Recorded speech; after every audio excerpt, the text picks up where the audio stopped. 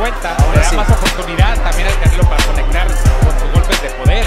Tratando de acorralar una vez más en eh, sí.